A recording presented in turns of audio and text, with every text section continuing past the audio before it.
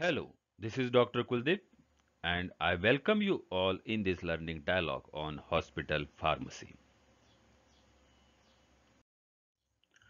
After successful watching of this learning dialogue, learners will be able to define hospital pharmacy. Next is enlist functions and objectives of hospital pharmacy. Identify requirements of equipment, floor space, personnel, facility, location, to run the hospital pharmacy and last one is explain abilities and responsibilities of hospital pharmacists. This is part one and in this part we are emphasizes on the two learning outcomes define hospital pharmacy and another is enlist functions of hospital pharmacy and its objectives.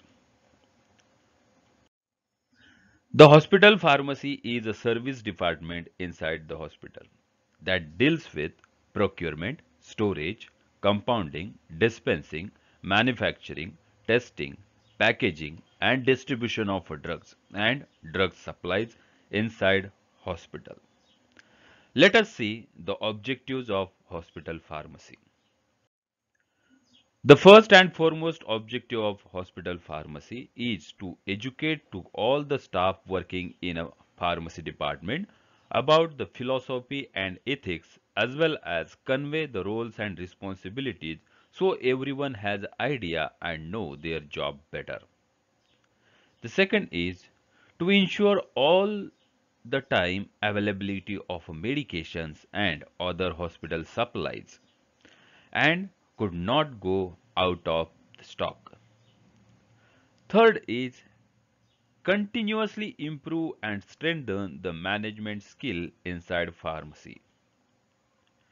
To act as a counseling center to provide advices, information and precautions to be taken while taking medications to the patients and to their relatives to coordinate and to cooperate with other departments for easygoing and better services. To participate and organize seminars, workshops, to educate fellow pharmacists and take a part in research projects. Last but not least is develop pharmacy in such a way that newer pharmacists will eager to work and get more and more skill from the pharmacy. On the basis of these objectives, the functions of the hospital pharmacy are categorized in the three different headings like pharmacy activities, educational activities and supportive activities. Let us focus on the pharmacy related functions.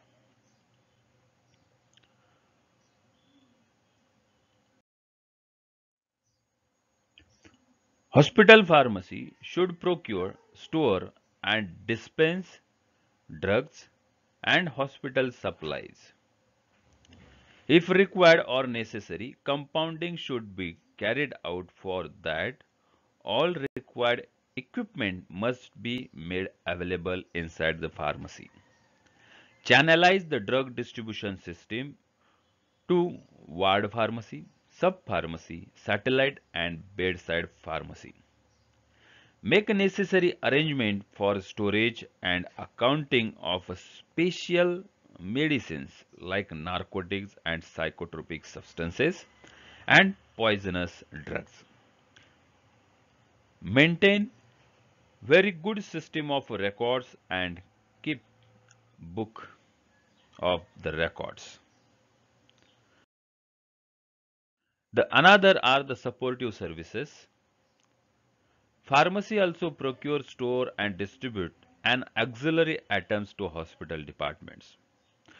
The another major and important task is counseling to the patient and their relatives about the disease, medication and therapy. Also give specific instructions if any required during the medication. Maintain accounts of all purchases as well as the distributions of medications inside hospital. And All this information should be provided to the account department for carrying out the budget of purchasing. The another services, another activities are educational activities. Should store and publish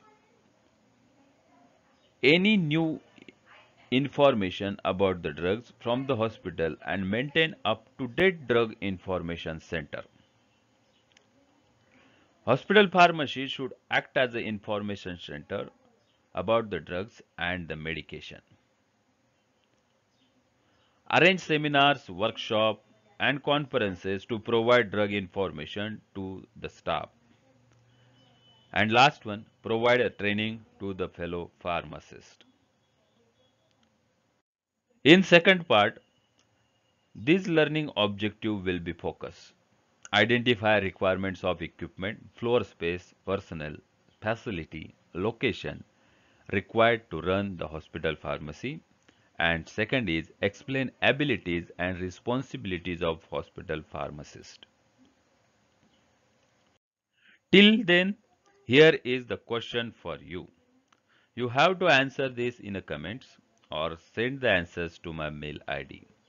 Have you visited to the pharmacy store to get medicines? If the answer is yes, then write which functions are carried out by the pharmacist in that particular store you have visited.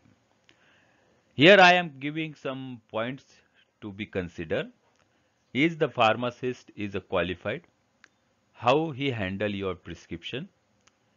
Did he counsel you about the medication or the disease? Did he provided any information, advices or special precautions or instruction to be taken during the medications? So write down these answers.